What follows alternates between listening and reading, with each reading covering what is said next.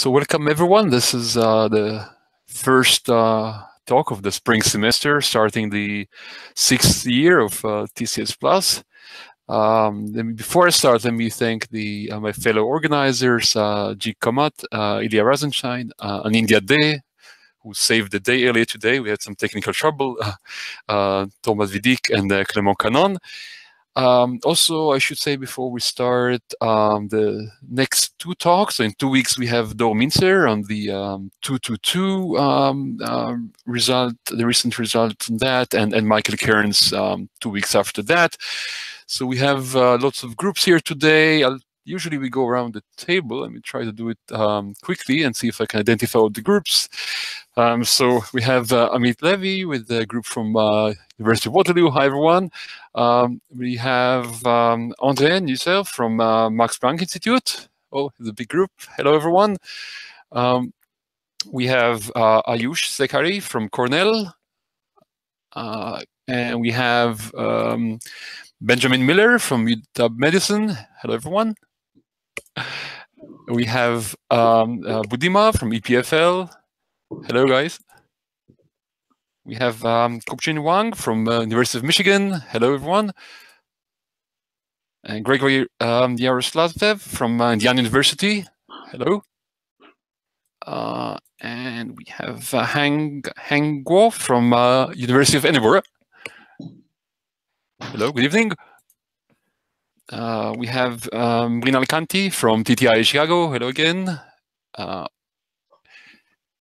Uh, Per Kristian from uh, University of Birmingham. And we have uh, Samson Zhou from Purdue. Almost there. Uh, Shravas Rao, a few floors above me here at NYU. Um, hi guys. Uh, um, Sushant Sachdeva from uh, Toronto. Hi guys. And last one. Um, Vago said, I forget. Oh, this is okay. Hello, Clement. so Clement cannot join us. Stanford, right? Okay, so back here somehow. Okay, so I'm finally uh, very happy to present today's speaker, Avi Wigderson. Um, uh, Avi uh, finished his PhD in uh, 83 under the uh, supervision of uh, Richard Lipton. Uh, he was at Hebrew University uh, for some years uh, before joining the Institute for Advanced Study in Princeton. Avi runs a very successful program there, as many of you probably know, TCS and discrete mathematics. Um, um, it's a great place. Many many postdocs have spent um, uh, time there, uh, and uh, Avi, will, Avi is well for many results in theoretical computer science, hardness, randomness, and what and many many other many other results. Um, he won many awards, including the uh, Nevanlinna Prize and the Gödel Prize. So uh, without further ado, uh, let me um, start the talk. So um, Avi, um, please. All right. Yeah. Welcome. So I uh, hope you all hear me. It's a very weird uh, thing. I'm doing it the first time, so we'll see how this works. Uh, I understand that uh, you can ask questions, so uh, ask questions. Um, it's uh, I prepared 60 minutes. I prepared some material for more. If you if you want to know more about some of the things that I'll show you. so I'm going to talk about problem that I've been uh, uh, looking into with with various collaborators. You'll get to know them, them all soon. called the operator scaling problem. And the way I titled the talk uh, is more reflecting, uh, you know, it can it can work for lots of other papers, optimization, complexity, and math.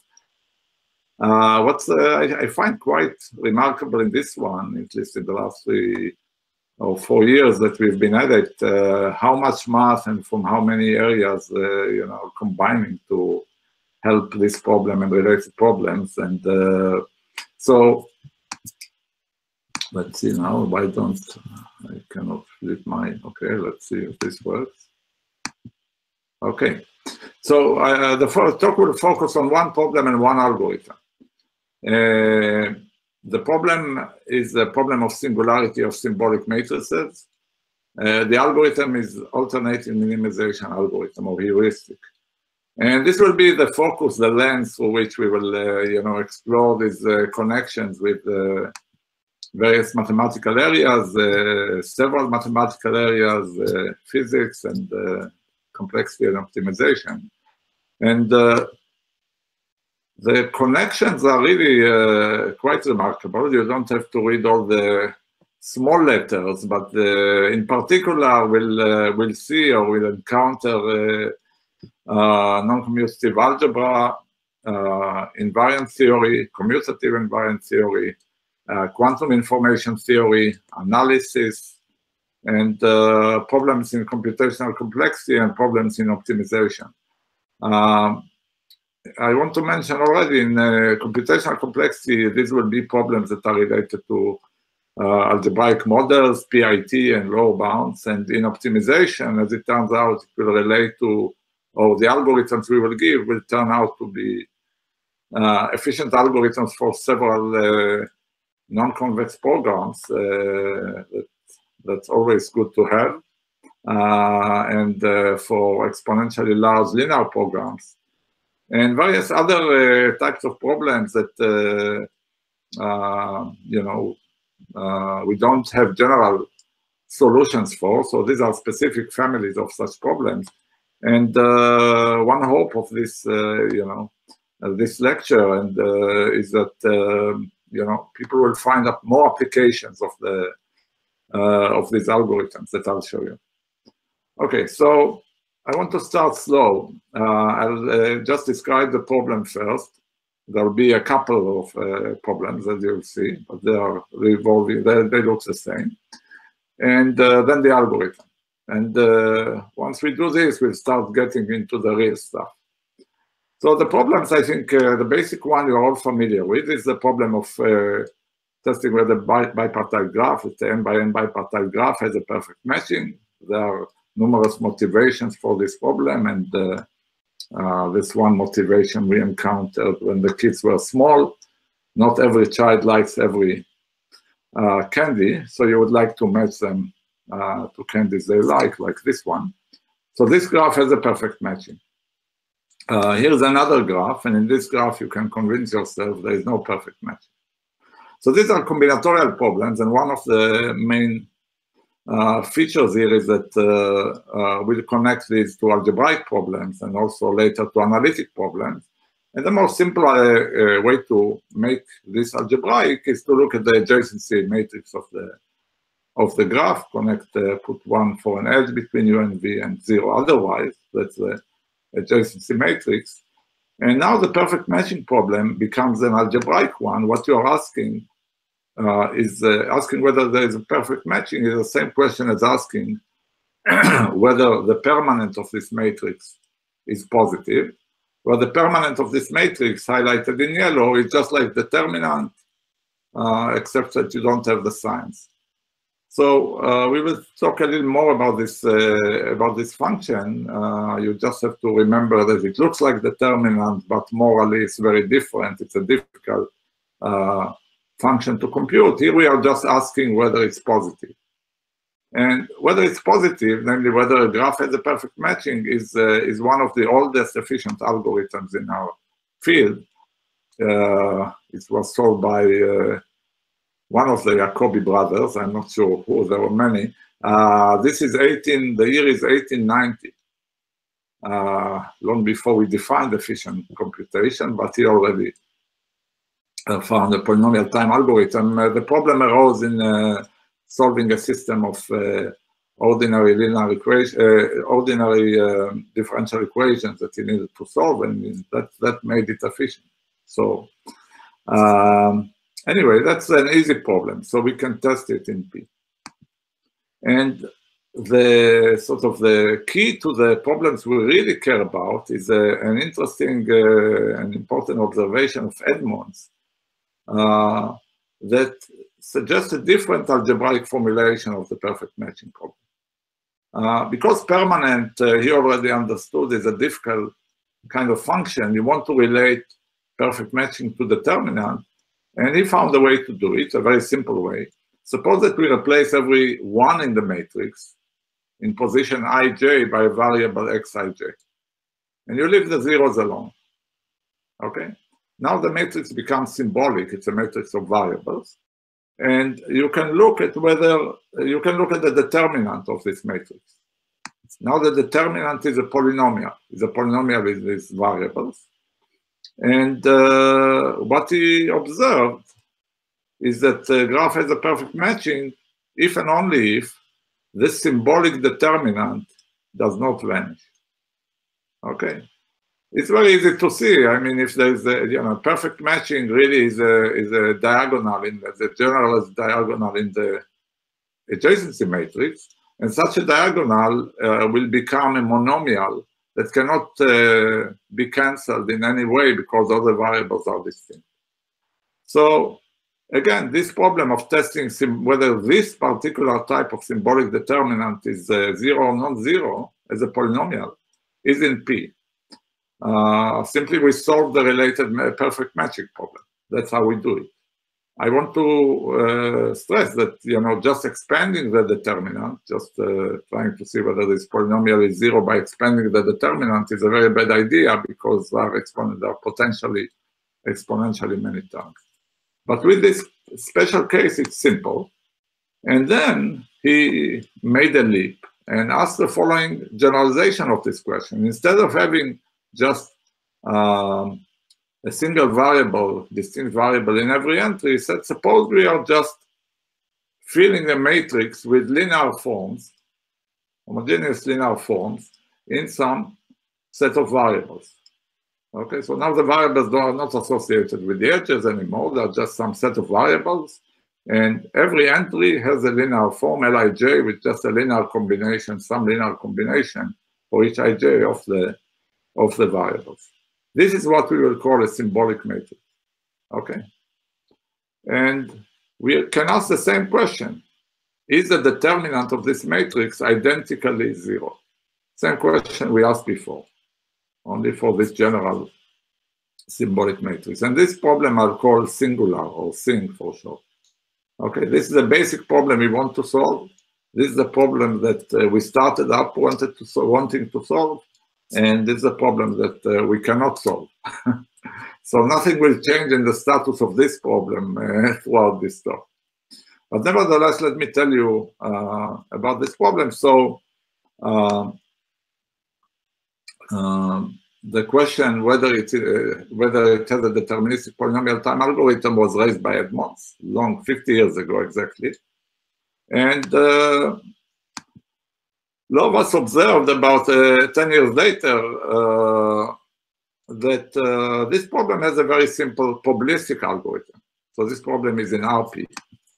Uh, how do you do it? What's the probabilistic algorithm? It's very simple. You just take random values for the variables, appropriate uh, integers at random, and uh, then you have a numeric matrix, and evaluate them, just evaluate this matrix, the determinant of this matrix.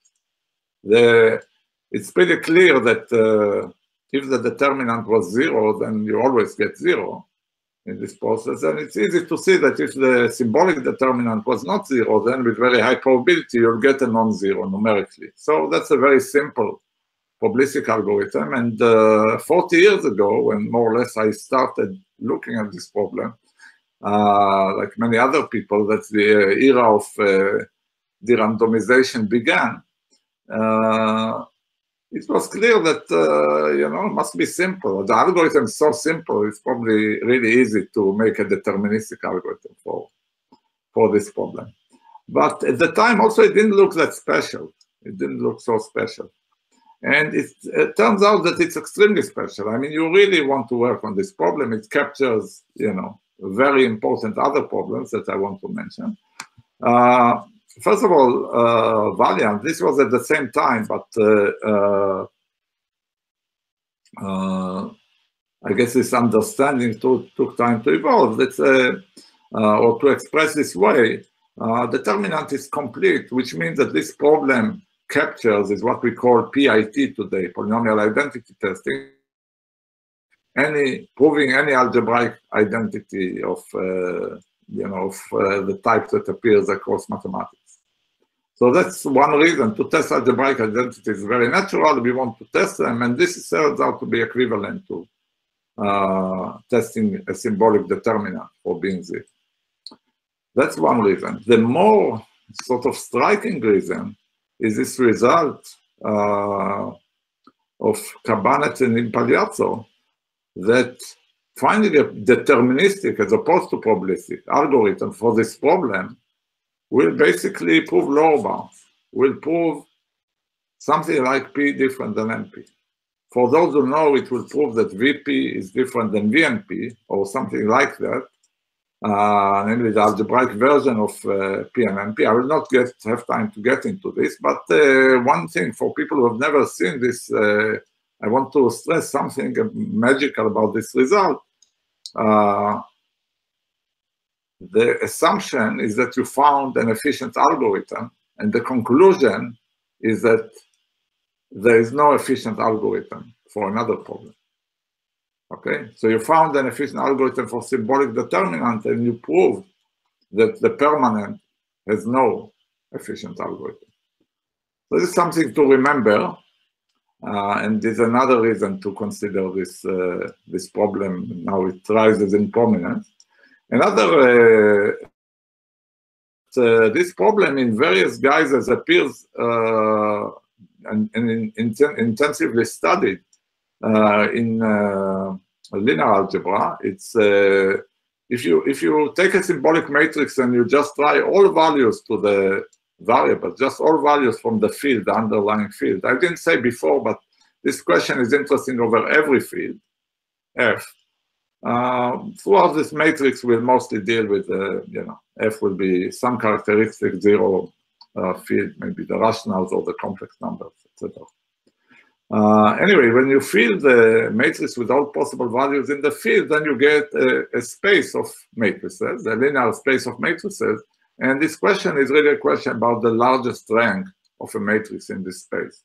And this turns out to capture lots of problems, in particular, uh, modular isomorphism problem in algebra, graph rigidity, structural rigidity uh, question in graph theory, and, uh, and many, many others.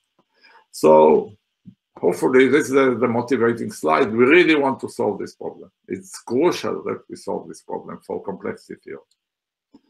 Uh, but as I said, we are not going to solve this problem. So let me tell you what problem we are going to solve. Okay, so I want to tell you about the dual life of symbolic matrices. Uh, so we have the same setup as before, uh, the symbolic matrices and I'm repeating, uh, we want to give, and so you should think of this as a computational problem. How is it given? A way to represent a symbolic matrix is simply by the coefficients of every variable. The coefficient of every variable is simply a matrix, a scalar matrix, right? Matrix over the field. So we are given, let's say, m matrices, each n by n of uh, entries in the field, and we want to know whether uh, the determinant of the, well, whether this linear combination, some AIXI, is a singular matrix. Until now, uh, I sort of implicitly assume that the variables we are talking about commute, or I'm sure you implicitly assume that the variables we are talking about commute. That's the most natural setting. And in this case, we said that, uh, you know, what does it mean whether the matrix is singular? It's just, uh, or, or just singular well? And the answer is obviously over the field of rational functions over this variable. Uh, and as I said, we don't know how to solve this problem.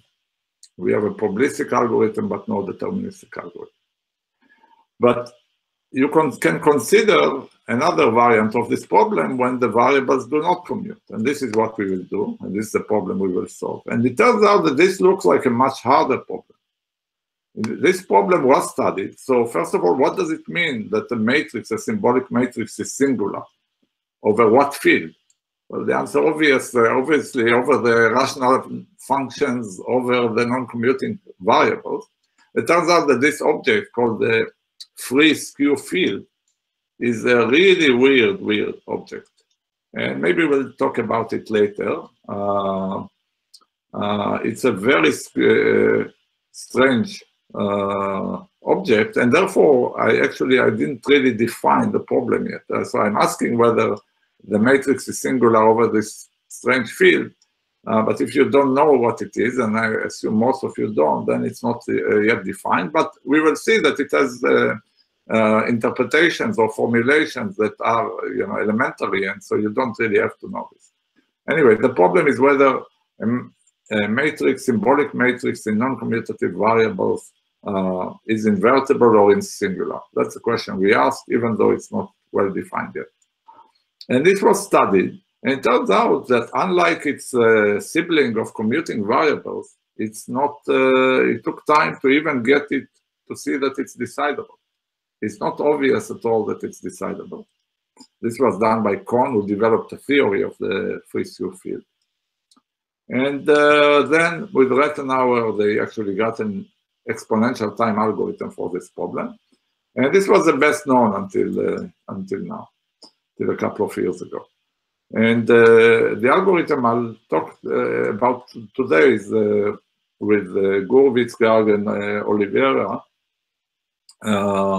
giving a deterministic polynomial time algorithm for this, for the case of characteristic zero. And uh, this is uh, where all the connections will, uh, some of the connections to the various fields materialize, both as sources of uh, for analysis and also as implications of the fact that it is a polynomial time algorithm. And soon after that, uh, Ivanyos, Qiao, and Subrahmanyam gave a very different algorithm for the same problem. Uh, it is uh, our algorithm is combinatorial, is uh, analytic. Their algorithm is algebraic. Uh, I will not talk about that. I will talk about ours only. Uh, I should say that I've given talks of various lengths about this material. The last uh, series was uh, in the summer in CCC, there I talked for six hours. Uh, this, by the way, was recorded, so you can find it, and there are beautiful notes that uh, some of the attendants uh, have written, so they are all on my website for those who want even more about this uh, problem. So anyway, I want to tell you about the, this algorithm. So, so far I defined the problem. Is this uh, okay by everyone? We want to solve non-commutative singularity of symbolic matrices. Okay, so I want to show you the algorithm. And like we started with the problem, we didn't start from the general problem, but we started with perfect matching. I'll describe the algorithm first uh, for its baby version, for the uh, perfect matching. But once you understand the, you know, the style of the algorithm, uh, I will not have to, have to give you too many details about the real one. The, you know, we can proceed by analogy. So I want to talk about this algorithm. Um, let's consider another problem. We didn't talk about it yet. You'll see soon it's very related to perfect matching. It's called the matrix scaling uh, problem. It was introduced by Sinkhorn. Uh, and uh, the input to this problem is an one non-negative matrix, like for perfect match. Non-negative matrix. And remember that a matrix is doubly stochastic. It's called doubly stochastic if the row sums and column sums are all one. Okay, like a permutation matrix in particular. Okay, so we would like our matrix to be doubly stochastic. Maybe it's not.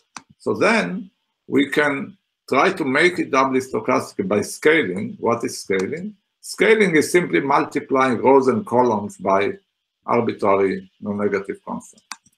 So in other words, just multiplying it from the left and from the right by diagonal matrices, R and C. Okay? So we want to do that so that we will bring the matrix into doubly stochastic form, if possible.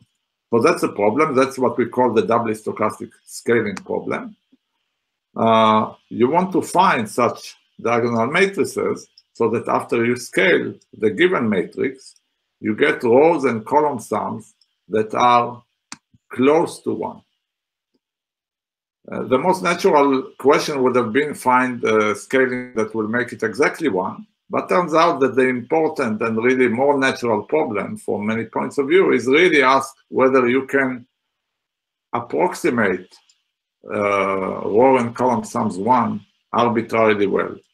So for every epsilon, there'll be R and C that will scale the matrix so the rows and column sums are within epsilon, let's say in each entry. Okay, so that's what we want to do. That's the doubly stochastic uh, scaling problem, uh, which will turn out to be a special case of the problem we really want to solve.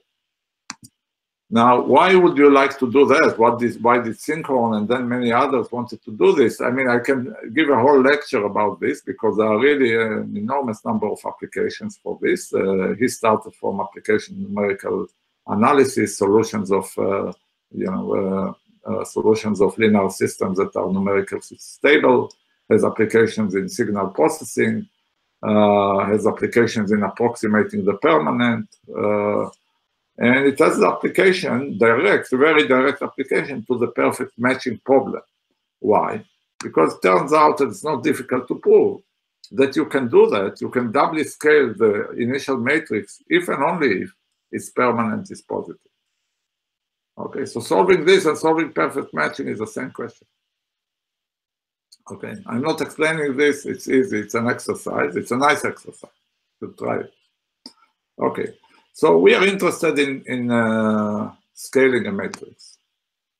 So let's try to do it. Suppose we are given such a matrix. Maybe it comes from a graph. Maybe it's the adjacency matrix of this bipartite graph. And uh, we ask whether there are these uh, scalars, uh, diagonal matrices that uh, we can pre and post multiply it with so that rows and row and column sums are one you look at this matrix, uh, you know, it's not doubly stochastic. The sum of the you know, the first row sums to three and the first column sums to three. We want all row and column sums to be one. Now, it's not obvious how to do it. In fact, it looks difficult. And here's the brilliant idea of Sinkhorn, and other people came with it uh, independently, is uh, sort of a greedy approach which is really, as uh, we'll come to call it soon, as an alternating minimization approach, uh, is the following, uh, you know, naive idea. We want both row sums to be one and column sums to be one, and we want them all simultaneously. But it's really simple to get all row sums to be one, right? That's uh, that's easy. So let's do this first. For this, you know, we just have to divide every row every row by its sum, right? So let's scale the row. And we are here. Now all the row sums are one, the stochastic matrix. We solved one half of the problem, right? So now, uh, you know, all we need to do is fix the columns. They are not, uh, sums are not, not one, but it's clear what to do, right? We have to divide every column by its column sum. So let's do that. And then now all column sums are one but the row sums are not one, right? So, uh, well, we can fix this. Let's divide every row by its row sum, and we get this. And we can proceed doing this, alternate fixing the rows and fixing the columns. And actually, it's quite easy to see, or to convince yourself at least, that uh, this is going to get into a loop. Either we get uh, column sums one, uh, or we get this. It will really alternate between these two possibilities. So this is not going to converge. But in fact, it's good it doesn't converge because this graph we started with does not have a perfect matching. So here, uh, it didn't converge and we don't have a perfect matching. Uh, I'll show you another example in a second, but uh, I just wanted this algorithm to be clear. It's just alternating row sums and, uh, you know, fixing rows and columns. So let's say, you know, just formalize the algorithm because we'll see the real one in a sim similar form. We have a non-negative matrix, uh, wanted doubly stochastic. For you know, given the matrix, we can define you know good you know candidates for scaling. You know, one over the row sums and one over the column sums, and we just alternate. Uh, and we will alternate this a polynomial number of times. We will normalize the rows, scale the rows, and then scale the columns, you know, n cube time. This is the algorithm. Uh, it's the simplest algorithm I'm sure you've seen. It has two lines. Okay, uh, you are dividing here, but uh, it's sort of easy to convince yourself that uh, you are never dividing by zero in the sense that if some row sum was a zero, Uh, that means all the entries are zero, and that means you'll never scale it, so you can tell immediately that it's not scalable. Uh, this type of algorithm where you fix one half of the problem and then fix another one, so the problem is divided to several parts and each part is easy, but uh, you know you can do it only when the others are fixed uh, is sort of an alternate minimization heuristic. We'll, we'll talk about it a lot later at the end of the talk. I want to give you some examples of where it occurs uh, in places you know.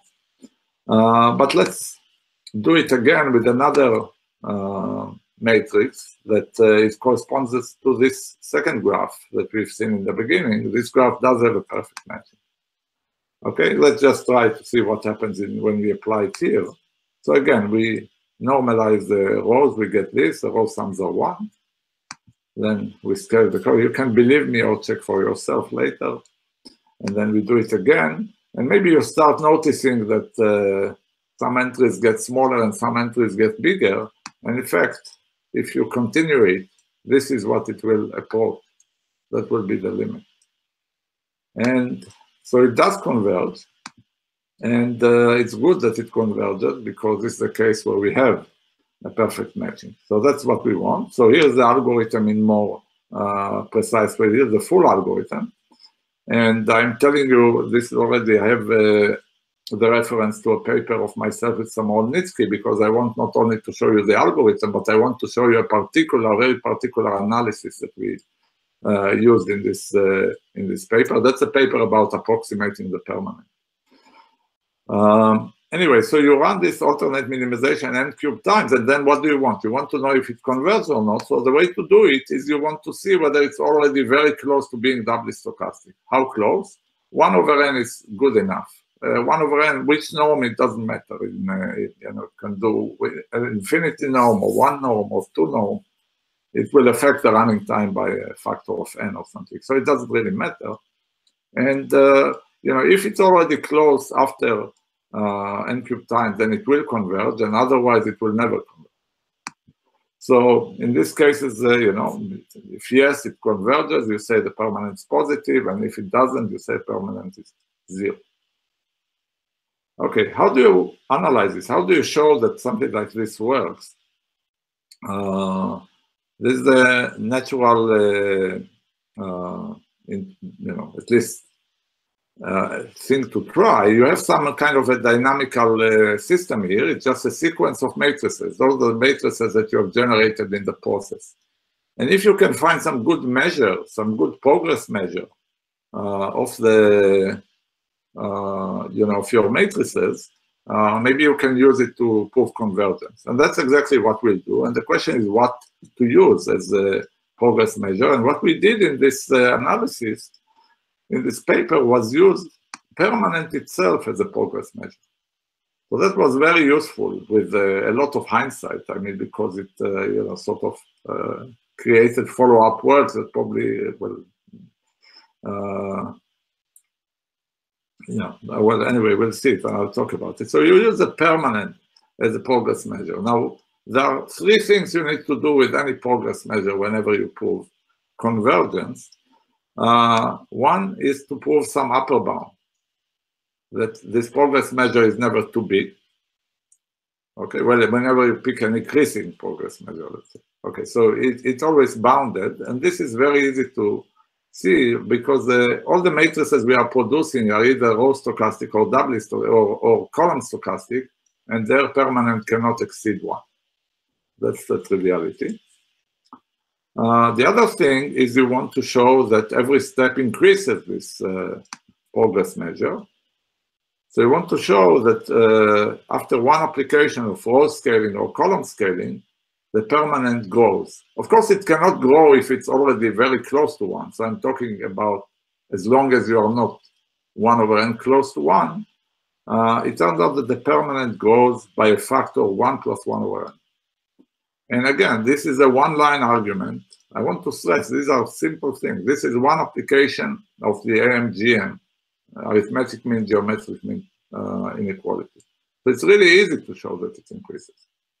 Okay, and the third uh, part is to, to say that when you start, you start with some, you know, you, you don't start very low. You can assume we are we are in the yes case, in the no case it's easy. So in this case, the permanent is positive, and you want to say, if it's positive, it's already non-trivially big.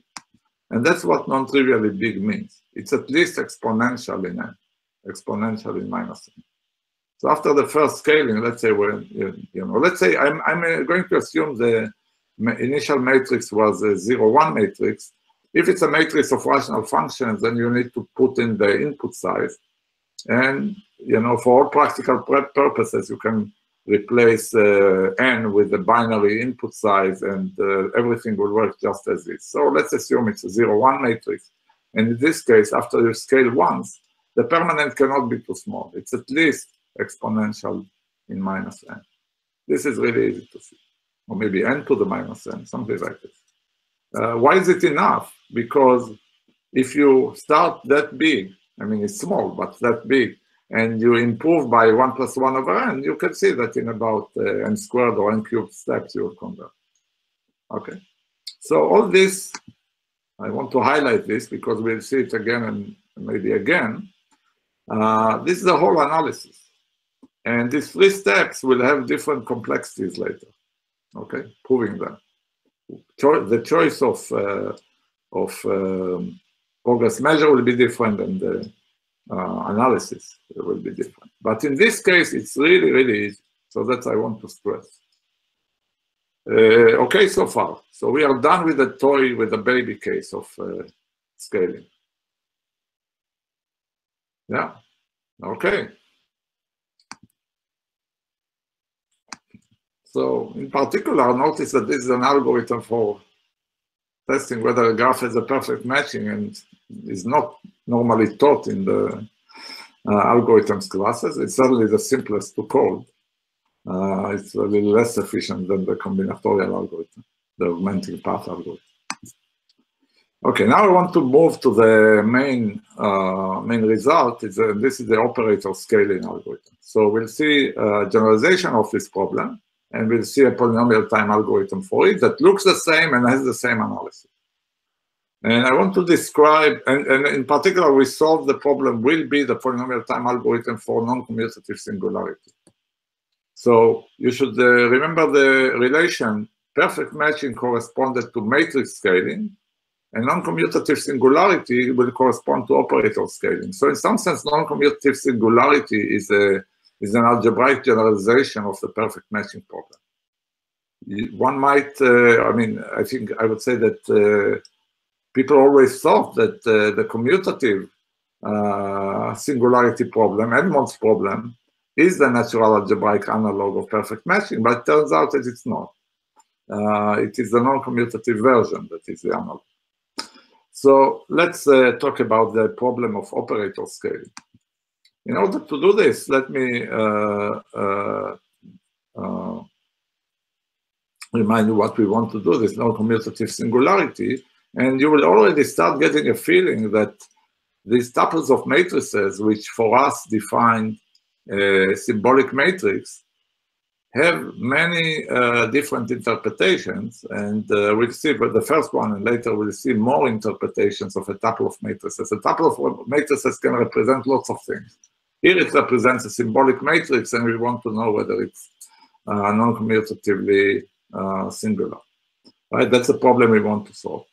And the quantum leap that Gurvits made uh, um, in uh, 03, really 15 years ago, uh, was really following, uh, it, it, was really a sort of a quantum generalization of uh, the algorithm in LSW, the linear uh, you of uh, the, the, the algorithm and the analysis uh, of the LSW algorithm and analysis, and it was at least an attempt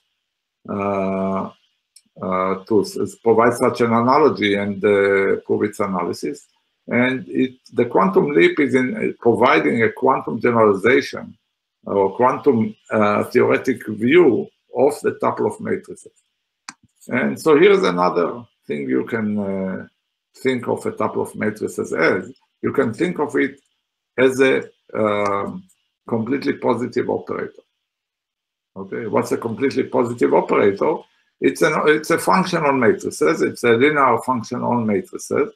So L takes P, an arbitrary n by n matrix, into the sum of AI P AI transpose.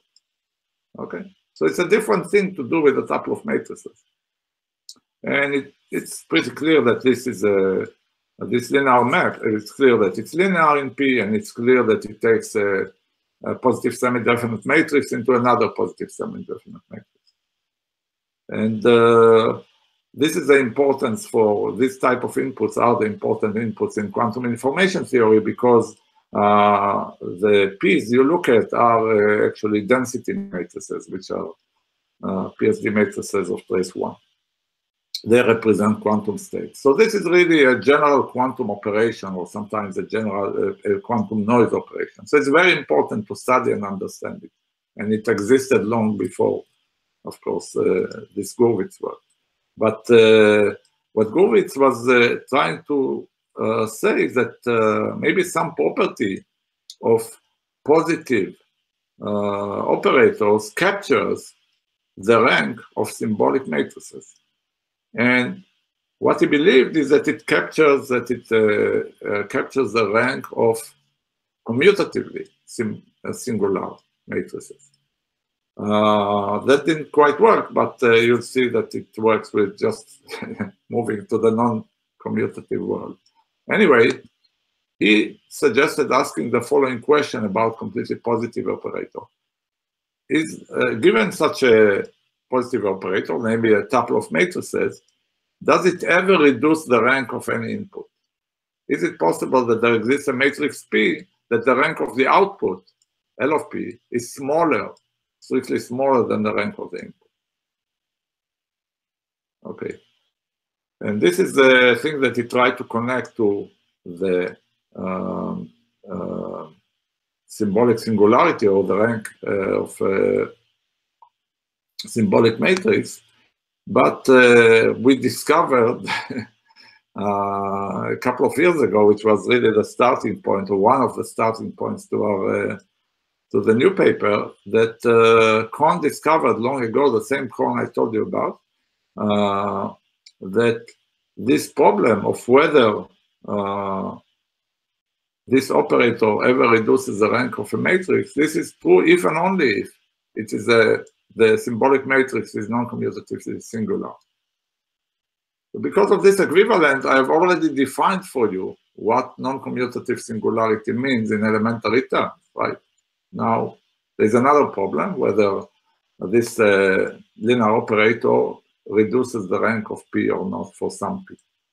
Okay, this is really the problem what we, that we want to solve. This is equivalent. So I'm not going to prove you this equivalent. In fact, it, he developed a whole theory to uh, understand this, and he didn't quite formulate it this way, formulated it differently, but uh, he was not uh, talking about positive operators at all. But uh, anyway, that's equivalent to the original formulation. And what Gurvits further understood, and that's absolutely key, is that for positive operators, there's a quantum generalization of being doubly stochastic. There's a very natural way to say that an operator is doubly stochastic. So now the operator is a generalization of a non-negative matrix. Instead of a positive matrix, we have a positive operator. We had doubly stochastic matrices. Now we have doubly stochastic operator.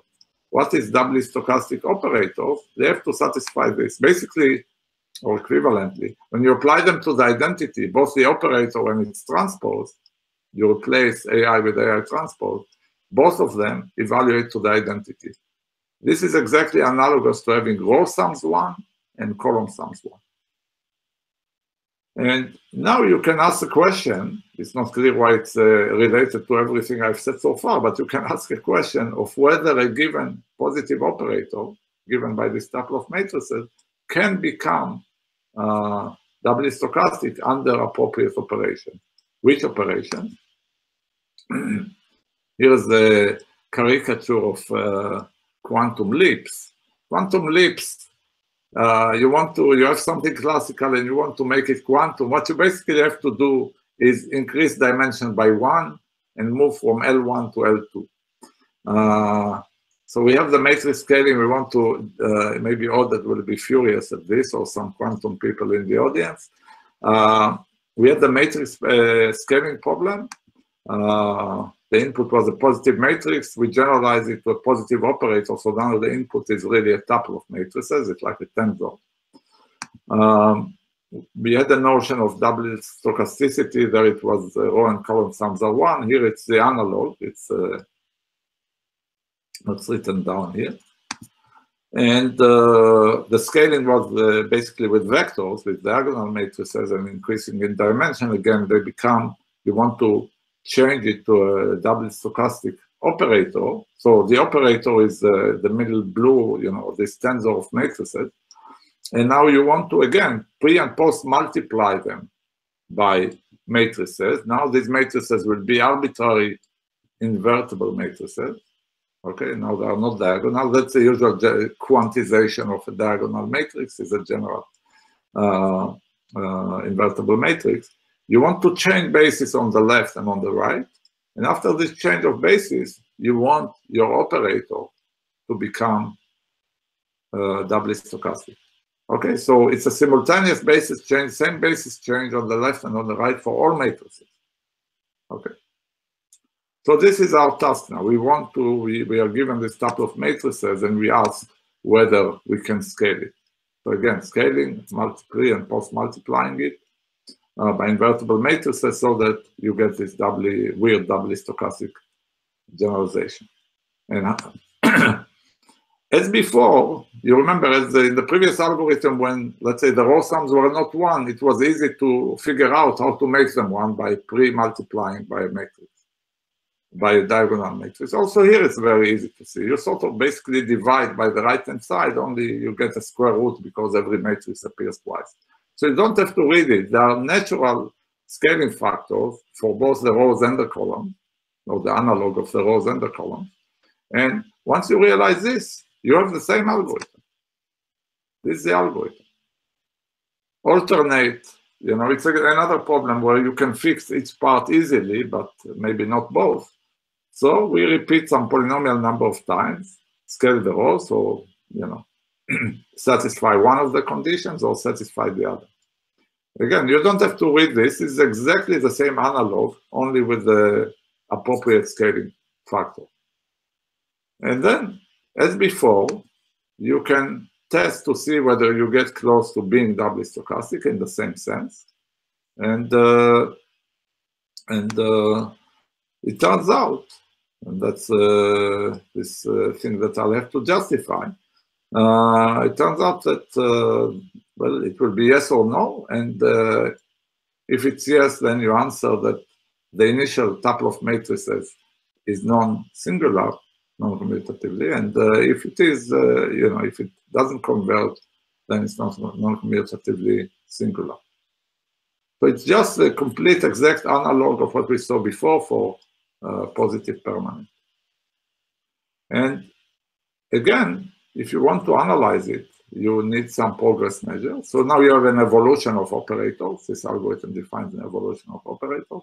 You want to justify what happened here. And you need a progress measure. And the uh, next key ingredient that Gurvits provided already in this old paper, he couldn't analyze this algorithm, but he provided basically all the ingredients, almost all the ingredients, uh, is a proposition of what to use as a uh, um, progress measure. And this progress measure is not a permanent. By the way, he did try a quantum version of the permanent, which is natural to define, and it's not good. And he noticed it's not good. So he defined another one, which is uh, uh, this uh, expression, so let me read it. You want to, the capacity of an operator, it's the uh, smallest ratio you can have between the determinant of an output and the determinant of an input when you feed it a positive definite matrix. Okay? It's how small can it be. And it turns out that this has serves as the same, uh, in the same capacity as the permanent uh, did before in that it turns out, and this is not difficult to prove, that uh, it's uh, you know not, the non-commutative singularity in terms, at least when you think of it as the rank decreasing, is captured exactly by capacity being zero, capacity being positive. And of course, that's the reason to use it as a progress measure, like with permanent before, it's completely analogous. Uh, how does the analysis goes? You want to say that in this process there is an upper bound, it's at most one. This turns out to be easy, almost as easy as the original, uh, the previous one. You want to prove that at every step, uh, if you are not too close, you grow by a factor 1 plus 1 over n. This also turns out to be exactly mimicking the previous proof. It's just one application of AMGM, but maybe it's two lines, not one, because the expressions are more complicated, but it's, you know, again, the similar kind of exercise with AMGM. And the last thing uh, that Gurvits wanted to do but couldn't uh, is prove this uh, uh, lower bound, namely that uh, if you are positive, then you are not too small. You are only exponentially small. Again, if you can prove this, if it's uh, just exponentially small, then you know you increase by one plus one over n. So in polynomial number of steps, you converge if you can converge. Okay, so but this is this uh, occupies the main this proof of the last step occupies the main body of the uh, of the paper uh, uh, from two years ago.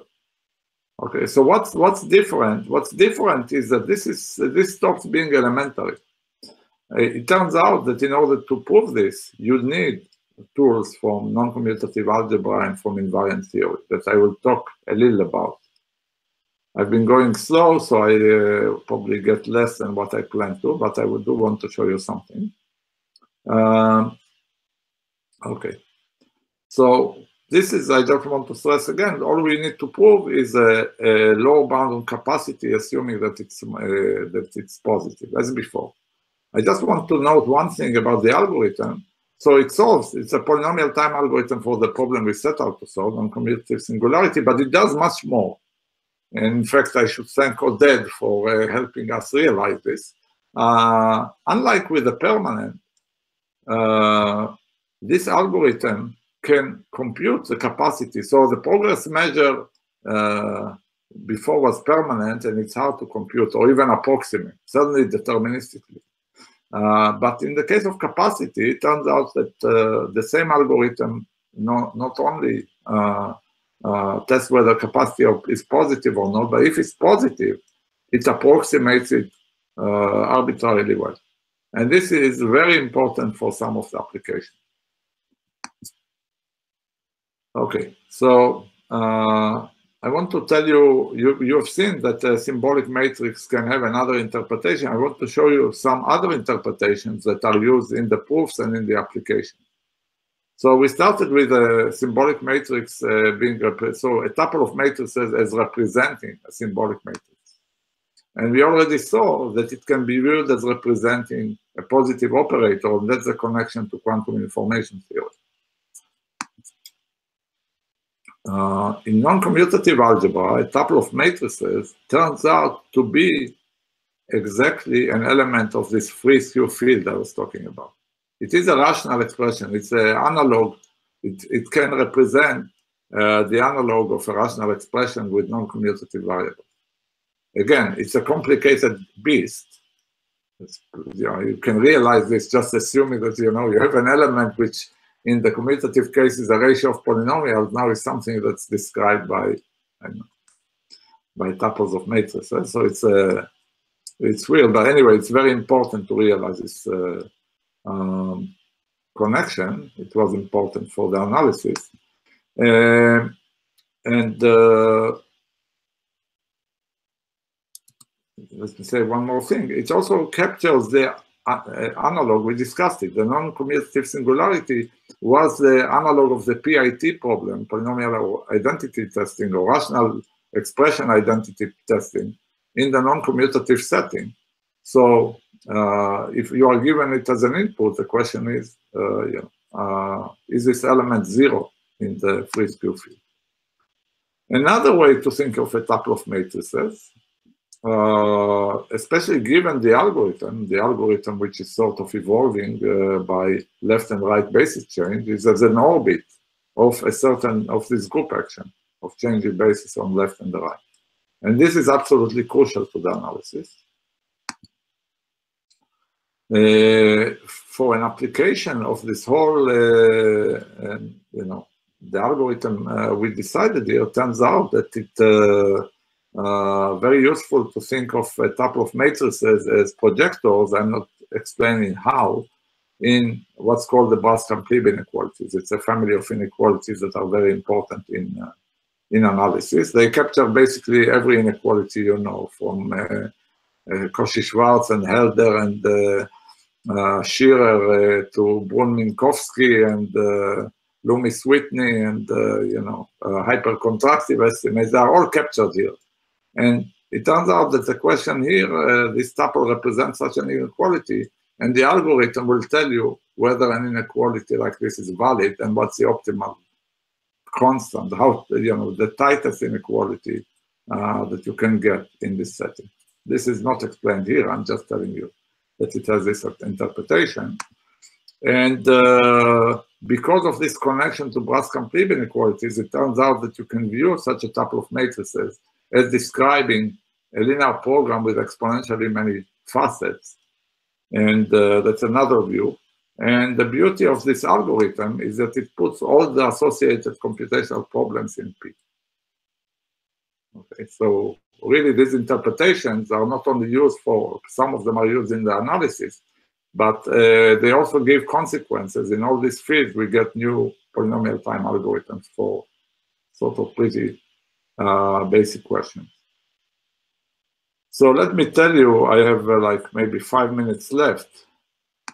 I want to tell you, uh, this we've seen, I want to tell you a little about the connections that come into the analysis from non-commutative algebra and invariant theory, and this maybe I won't tell you about. Um, okay, so I want to explain the way that the formulation of capacity leads us to connections in non-commutative algebra and, uh, invariant theory after we saw how it, uh, yeah, we saw it in quantum information theory. So for this, we really want to think about, we have the initial uh, tuple of matrices, A1 through AM, and these were n by n matrices.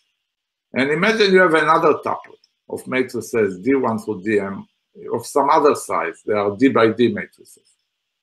And a key, a key feature, just a second.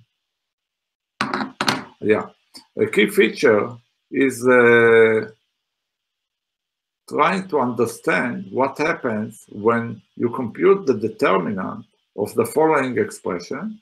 So you sum the tensor powers of AI and DI. You multiply, you take the tensor product of AI and DI, the corresponding matrices in the two tuples, you look at their sum, and you consider this determinant. This, oops, I don't know why it's disappeared, but we'll see it here, we see it again. So in the case of quantum information theory, this expression is related to the capacity of the, that's what you get, that's what you have to understand when you study the capacity of a tensor product of two operators. It turns out that for the analysis, one thing is needed for the analysis of the algorithm is to understand uh, capacity of tensor powers of our original operator with other operators. And there's a simple inequality you can prove that's written down there, I will not get into this, that is used in the analysis. It's a very simple thing to prove. But that's one place where this uh, where this uh, expression arises. Here's another place where this expression arises. It turns out this determinant of uh, sum of uh, AI tensor DI arises in non-commutative algebra.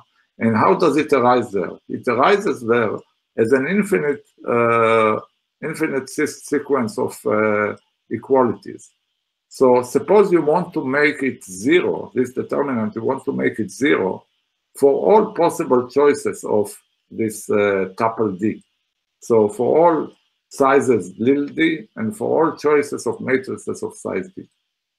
Okay, so this is just what I've written here is a sequ sequence of identities, and it turns out that this sequence of identities, by this, okay, uh, this sequence of identities hold exactly if the tuple represented by uh, AI, AI, by the AIs is a zero element in the free skew field. So that's an access to the non-commutative singularity problem in a commutative way. Now you're, you're looking at normal determinants, only the determinants have coefficients which are matrices as opposed to uh, scalar.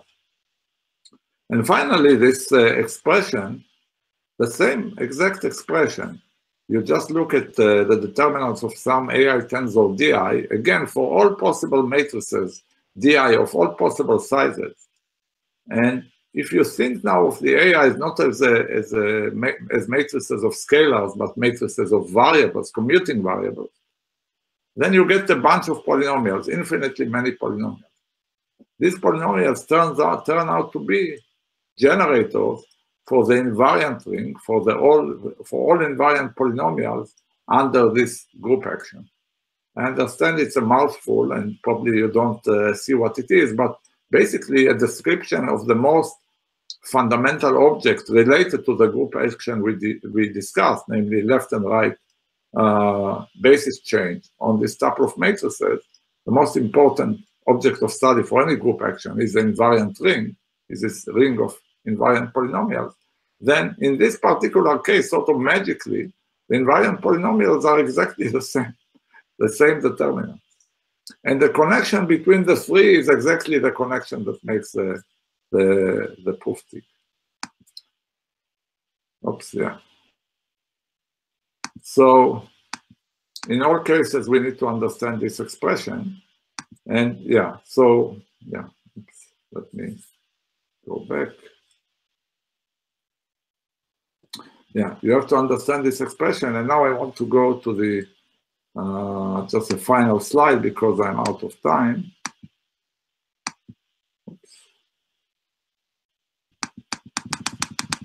I'm I find the let me find my second find the final slide.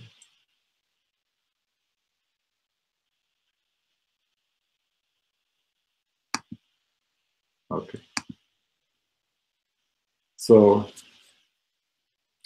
just uh, summarizing uh, what we've seen, uh, general themes that appeared in this talk is that, uh, uh, of course, what we know and love, there's a fantastic interaction of mathematics with, with the design analysis of efficient algorithms. Uh, we saw that if we get a particular uh, analysis of this uh, alternate minimization type heuristic in this particular case, and turns out that in what I didn't show you, there are many other cases. Uh, there are many incarnations of uh, symbolic matrices. We can interpret the type of matrices in many ways. Uh, the algorithm we uh, I, I, showed you is it's sort of a bit striking. The original question is obviously algebraic. You are asking about the singularity of uh, a matrix of variables. I mean, it's clearly an algebraic question, but the solution is entirely analytical, or numerical.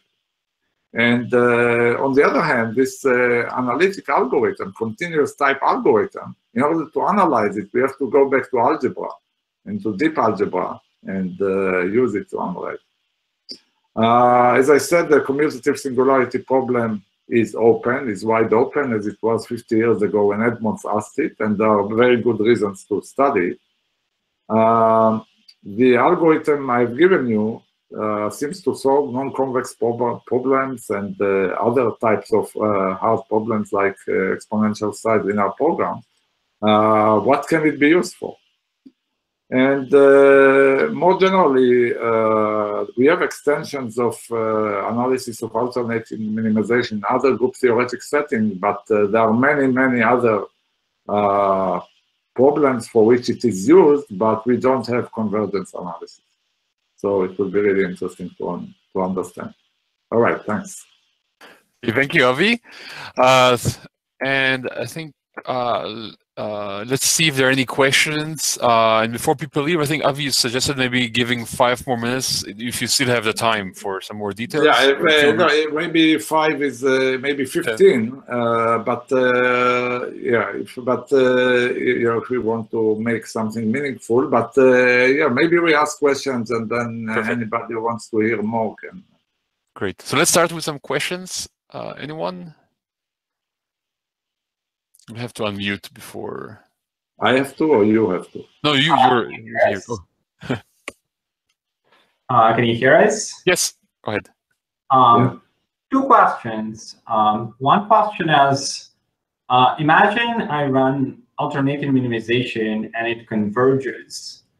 Uh, can I recover the perfect matching if it exists from uh, from the result without I mean, obviously, I can reduce by like trying, you know, to remove edges and run it several times, but just if I run it once, can I recover? Uh, and the second question is, is there a simpler or faster algorithm uh, for the non-commutative problem if, if we can randomize, if we don't have to be deterministic? Uh, okay, so both good questions. the first question is that I don't know uh, better algorithm than what you suggested by uh, simply the usual reduction from search to decision. So you can use, uh, you can start in order to find the perfect matching using this algorithm.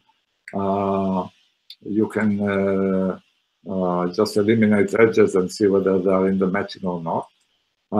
what it does, what you can do with randomization actually is you can use isolation lemma. It turns out that if the matching is unique, then what will survive at the end of this algorithm, right, this after the scaling, will be the permutation matrix that defines the matching.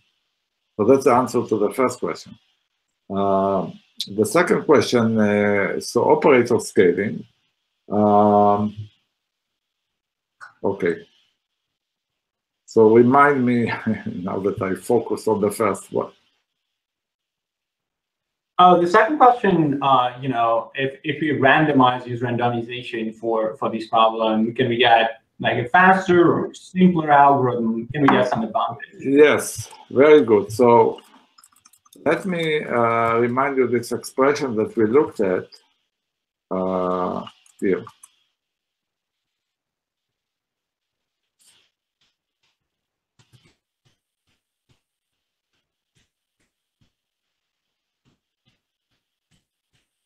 uh, here.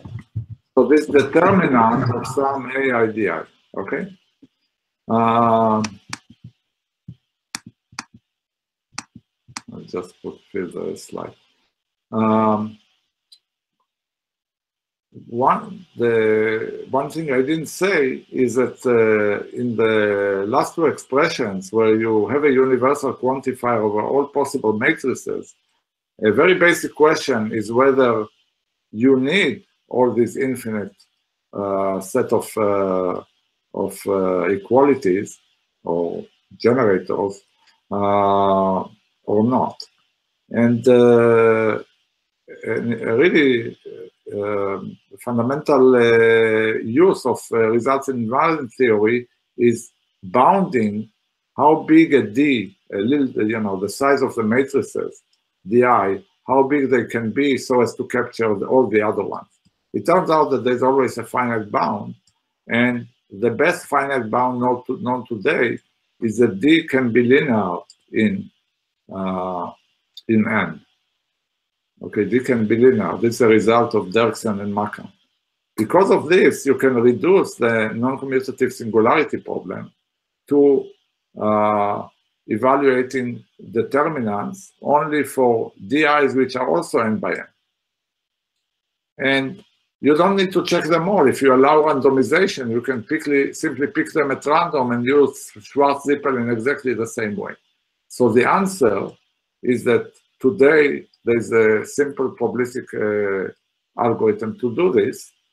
Uh, at the time we discovered the algorithm, the best upper bound on D was exponential in and then we couldn't use it. So it was not even known that there is a randomized algorithm. But today we do know, and it's very important, this discovery, because it's used in uh, many subsequent results, and it is used in the algebraic algorithm that I didn't describe of Ivanyos, Qiao, Subrahmanyam.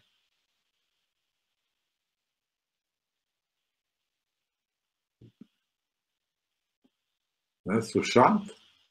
Yeah, uh, Avi, I just wanted to add to the first question. Can you hear me? Yeah.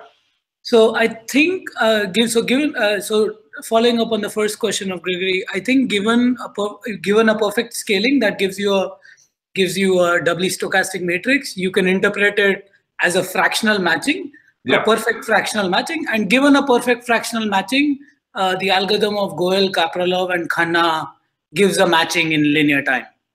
And uh, in fact, you are right. Yeah, even the algorithm of Lev, Pippenger, and Valiant, which is much older, Right. Yes, yes, yes. Even in parallel. Right. You're absolutely right. So yeah, you will get the fractional linear matching. You will get only the edges that belong to some uh, perfect matching. Absolutely. That's good. Actually, is can you uh, ask the same question in the non-commutative case? Can you, if you can find the PSD matrix that makes makes it um, smallest, the, the capacity? Um, yes, uh, and I'm not sure what the answer is. Um, yeah, I, I'm not sure. Yeah, it's a good question. I, I really don't know what the answer is. You can ask this question. It's a good idea to ask this question. Great, thanks. Any other questions?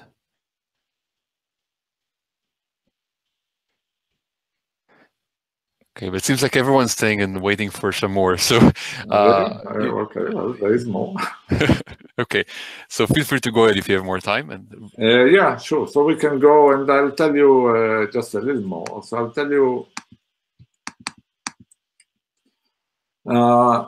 Uh, I'll tell you about the recent paper, and uh, there's even follow up. But uh, I want to tell you that we understand these uh, questions better and better. So I'll tell you about uh, generalization of uh, operator scaling to tensor scaling and uh, somehow um, unifying uh, both matrix scaling and this uh, problem. And it will also tell us something that we didn't look for, namely it will tell us where are these scaling algorithms coming from. So here's what I mean. So uh, the, this unification will involve, uh, like we've seen before, actions of linear groups on tensors. And we've seen two examples of this. We've seen the matrix scaling where we uh, try to, the goal was scaling a matrix into doubly stochastic, and this involved action by diagonal groups, diagonal matrices. And we saw the operator scaling where we wanted to scale a tensor, and the actions uh, were with the general linear group. So here's the algorithms in both cases. They apply a sequence of uh, left and right matrices uh, that are easy to compute and test convergence. So that's how the algorithm looks. So here we had a problem. The problem was scaling.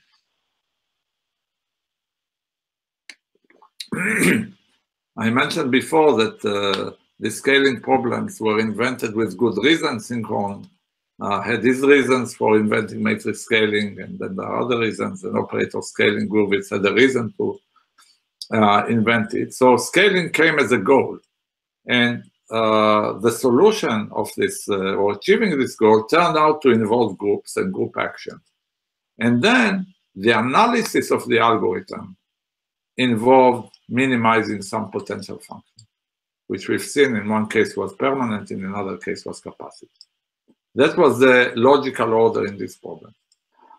And now what we are going to do with a lot of hindsight is replace the, the analysis and the goal. We are going to set a goal of minimizing some potential function. Okay? This will be our goal.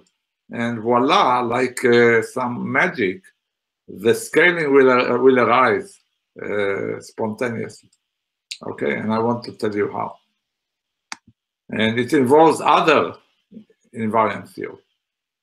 So here is the setting. It's just a natural generalization of the setting we've seen so far, and it's a natural setting also for alternate minimization algorithms.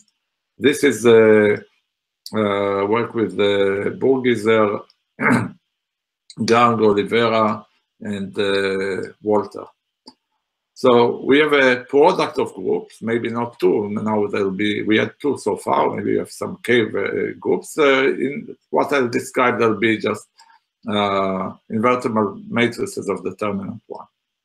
And they act on a vector space, uh, just a product of vector spaces. How do they act? Well, just uh, like matrices act on vectors, right? Matrix vector multiplication. In every coordinate, the appropriate group just is multiplied by the appropriate vector. That's the action. It's the most natural action of a tuple on a tuple. Okay. So we have this, and now we can, uh, we, we may be given one vector in this space and asked to minimize the following uh, function. You can think of it as a generalization of capacity. We are simply asked to uh, minimize or look for the smallest value that we can achieve by applying these groups to this, uh, by applying this group to this vector. Okay, just minimize the L2 norm. So the question again is, find the lightest vector, this is the argmin, find the lightest vector V star in the orbit of V under this action. So group actions define an orbit, everything you can get to by, by applying a, vector, a, a, a group element on your vector. And the question is, what's the lightest vector you can get to? This, in some sense, is a canonical element of the orbit. Okay? It's not even clear that it's unique, but it's unique. Uh, it's an optimization problem. It's a non-convex optimization problem. And uh, you can be interested in, in or not, so you can ask, why is it interesting? Well, uh, of course, we know that's interesting because even for the case of dimension two, with just two groups, it generalizes the matrix, so it captures matrix scaling and operator scale. Okay? And then you can go to higher dimensions.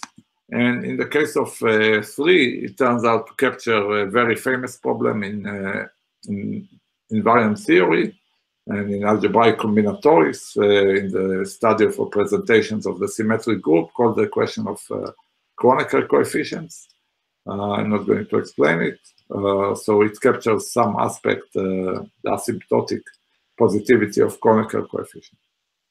And when you go even higher to any uh, k, so you have like uh, k parts to this vector, uh, th this captures uh, what's called the entanglement distillation problem, or sometimes the one body marginals problem that anybody in this audience, I see that there were some Waterloo people and Oded and other people who probably know and maybe even love this problem. I'm not going to describe it again, it's uh, just because of time, but it's a basic problem of uh, uh, testing whether you can get to, I'm describing it, whether you're given a quantum state that uh, is uh, distributed across many, many parties, many agents, uh, whether you can move it to another state that uh, uh, in a way that, let's say, increases or maximizes the entanglement uh, between the different parts. Uh, anyway, uh, what, whatever this, problem, yeah. Quick question: Can can you explain again the the problem? So, um, what do you mean by GI acts on VI? What kind just multiply. You multiply the matrix by this vector. So I guess I'm, confused. Why isn't the infimum always zero? You can always shrink the vector arbitrarily. Because it's a, it's I said it's SLN, so it's matrices of determinant one. Yeah, but you can shrink one direction and expand some other orthogonal direction if it's independent in all the coordinates. I'm missing something basic. No, no, no. You are you are missing, but it's good that uh, you know you are asking because I want everything to be understood. Uh, this is what the input is a tensor. The input is a tensor, right? The okay, so this, this, this is, okay, so, so I thought it's a direct product. Yeah. My notation, I guess I I knew how to do make a tensor sign. Send you, yeah, send you yeah. the character. It's Unicode. So, Go on, thanks. So now, okay, so let, but let me say it completely. You understood it. So the input V is a tensor, it's a k-dimensional tensor. The action of one component is just a matrix a vector action on all the fibers of the tensor in this direction. Right? Like we did before when we uh, multiply, when we had the, uh, in the operator scaling, when we acted by a matrix on the right, what we did is base change all the columns of the matrices, right? And then on the right, uh, it changed all the, base change all the, all the rows of the matrices. Okay, so here we change all the fibers in every possible direction. Thank you. That's a very good clarification. And uh, the last reason why is really the reason that people have been asking this uh, for many, many years, uh, since, I don't know, uh, Mumford invented geometric uh, invariant theory, is that when this infimum is zero, it's a very special case and very important special case, uh, then they call uh, V a member of the null cone of this group action, uh, which really means that uh, just you can push this vector to zero by the group. Uh, and if it's not zero, okay, so we'll talk about not zero in a second, okay? So it's a very natural object to look at in geometric invariant theory, this optimization problem that's not convex. Okay, and so I've just written it again. Uh, this uh, potential for this infimum is zero if the argmin, if you can push the vector by the group to being zero. And a very old result in this field by Kempf and Ness ask what happens when, you know, so when is it not zero? You want the duality theorem. We know when it is zero, you know, we can prove that it's zero just by supplying by supplying a sequence of elements of the group that makes the vectors, the tensor smaller and smaller. Uh, we can ask when is it, how can you certify the NP co-NP thing? How can you certify that it's not zero? Well, it turns out that uh, you can write what uh, you may call is a non-commutative generalization of the Lagrange uh, conditions, right? Uh, to characterize what's the minimum of this objective function.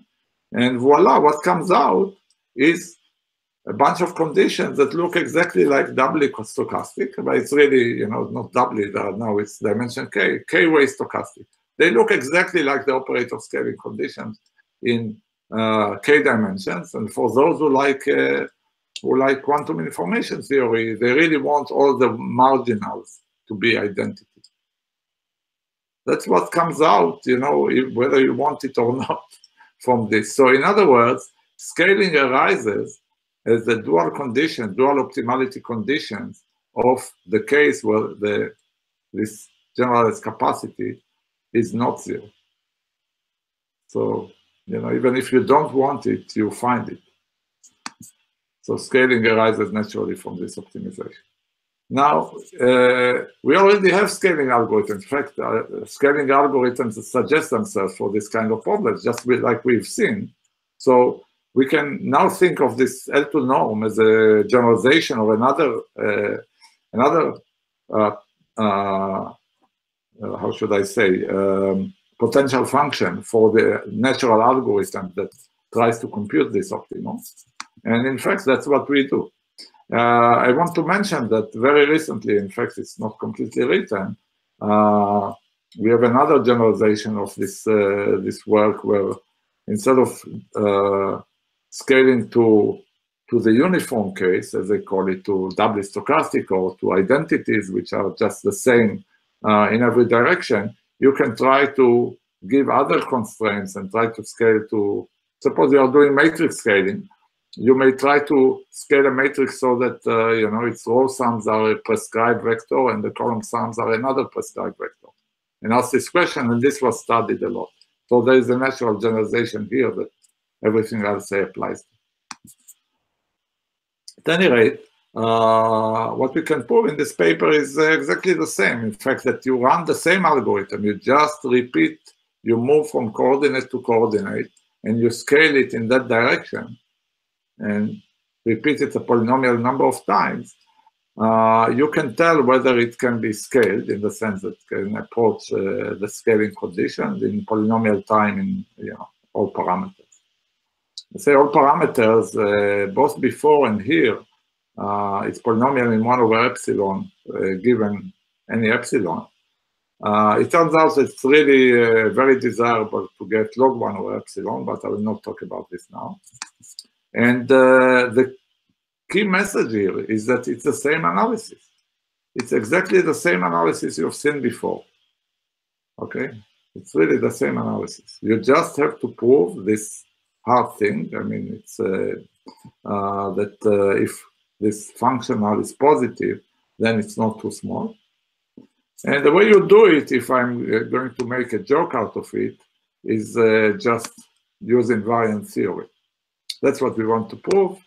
And uh, let me not get into this, but uh, it has this uh, important connection characterization of vectors in the null cone using the invariant polynomials, which I mentioned before. So there's a group action. This group action has an invariant ring. It's generated by a bunch of polynomials, multivariate polynomials. And uh, a good description of these polynomials, especially a description that has low coefficients and low degree, if you can get it, then you can use it to bound the running time of this uh, algorithm. And that's exactly what we need using techniques of Cayley and, uh, and uh, others to get this. So that's uh, well, this is one line. If you've done all this work, the analysis becomes just one line but it doesn't matter. Uh, let me tell you in the last five minutes, just tell you some, uh, you can ask me questions about this, but I just want to tell you some other settings of alternate minimization just to show you that you know this problem and you know these algorithms and we simply have no way of currently of analyzing them. They are not group theoretic, they are different. And uh, but I think you know maybe it's a hopeful way we should look again and more seriously at this problem. So I'll give you three problems very quickly. Again, alternate minimization uh, appears everywhere: statistics, optimization, machine learning. Uh, they are all have the same structure. There is a global function of many parameters f. We want to solve it. Solve mean maybe let's say optimize it, uh, minimize it, or something. Okay, over some domain. In our domain, the ZIs were group elements. This is a complex problem, but it turns out that every one-dimensional special case, you know, for any particular coordinate you want, if you leave the others fixed, then it's an easy problem.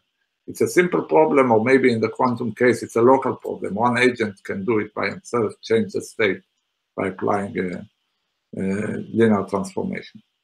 Uh, so here are some examples that uh, we would love to understand. One example, very old example, is uh, von Neumann studied is uh, uh, they are all non-convex, by the way, as you'll see. So what's the distance between two convex sets? It's a non-convex problem, but uh, so I give you two convex sets by the I don't know description, natural description. You want the minimum distance, and uh, you can do what he called alternate projection. You can start with any point in, uh, in one set and project it on the other. Look for the closest to it in the other. That is a convex problem, right? And then look for the closest problem to it on the other body. And look for the closest and look for the closest. And the question is, does it converge? This is an alternate, obvious alternate minimization algorithm. Turns out that it always converges for convex bodies. The question is how fast it converges. And uh, von Neumann had a beautiful theorem that it converges for closed subspaces of any Hilbert space. Uh, but we don't have really good characterization of you know the general cases that, uh, for which it converges. I mean, there, there are things known. I'm not uh, going into them. This was one problem that is natural. Maybe you never thought about it, but it's natural. Here's a problem I'm sure many of you have seen. Uh, this is a you know uh, Monte Carlo Markov chain problem, Gibbs sampling or Metropolis algorithm. Why is this an alternate minimization algorithm? Suppose you want to sample from a complex probability distribution. You know, it's a probability distribution over many parts.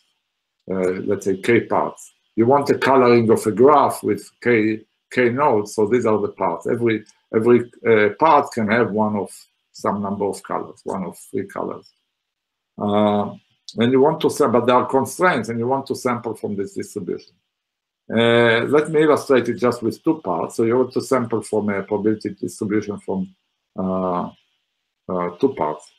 Or just finishing the story about coloring, you know how it goes. You just keep recoloring a vertex, jumping from one vertex to another. So it's an alternate minimization algorithm uh, in an obvious way. Uh, so for two distributions, you want to sample it just to uh, again illustrate the same point. Uh, the, you just repeat, and that's what happened in a general metropolis algorithm. You keep sampling, resampling one coordinate, fixing all the others. So in this case, you fix just the other one and uh, sample from sample Q condition on P and sample P condition on Q. And uh, these are simple things. And the question again, whether it converges or not and how fast, and we know that's a hard problem in general for Monte Carlo Markov chain. In this particular case uh, of two, it turns out there's a paper of Diaconis et al. Uh, that shows how it's uh, very much related to the problem of distance of two, uh, to the von Neumann problem. So it turns out that they are very related.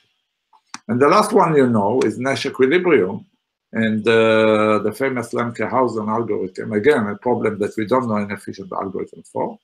What's the problem?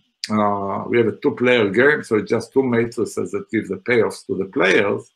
Strategies are uh, distributions on their strategies. So strategies for one player is the rows and the other is the column. Uh, so a Nash equilibrium is two probabilities, two strategies for the players that each is a best response to the other. This is a formula, what it means to be a best response. Uh, that you don't want to change your strategy given the other. Okay, and you may want to find one. That's an important thing in economics. And uh, the Lemke-Howson, roughly speaking, is more uh, clever than what I'll say. It's more specific than what I'll say. But basically, it's alternating best response. You start from some strategy for the first player, P1, and then Q1 is the best response to uh, Q1, and so on and so on. You just repeat this. And in fact, it converges. And people use it, but uh, there are well-known cases where the convergence is exponential time, and uh, you know it would be nice to find better algorithms. It would be nice to generalize it to more players. Maybe it was done, and so on. But that's another setting where alternating minimization appears, and there are many other places, and there are all uh, there are many other. Uh, um, so uh, you know just uh, illustrating the breadth of this uh, heuristic. Question? No. Well, we can hear you, uh, Avi. Uh, there's a question here.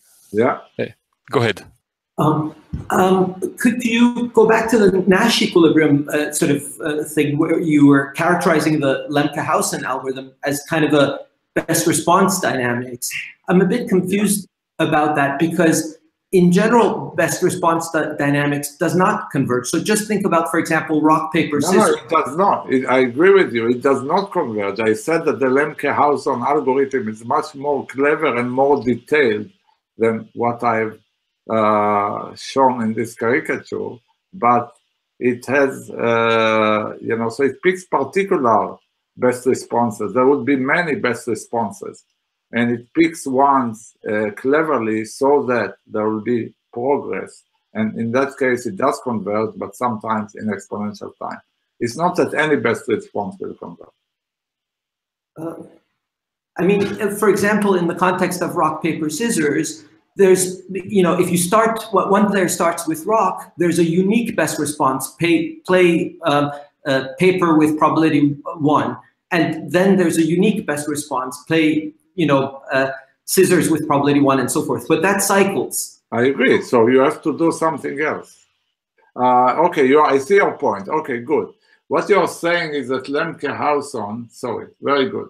So what you're saying is Lemke-Howson is not quite, uh, you're right, you're absolutely right. That's an oversimplification. It's not just best response. Yes, it uh, in many cases it looks like best response. Maybe I should remove Lemke-Howson there and then ask whether this algorithm. Lemke-Howson is more clever. So uh, this is a natural heuristic for uh, uh, for uh, finding a Nash equilibrium. And like you just demonstrated, Sometimes it does not converge at all. Sometimes it converges and slowly, and sometimes it converges quickly, and one can try to understand it.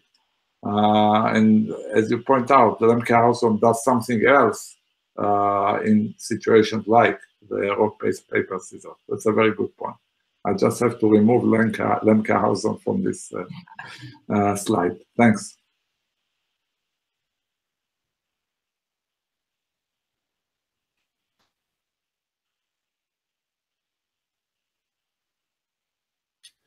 I, should we? Are we going on, Avi? Uh,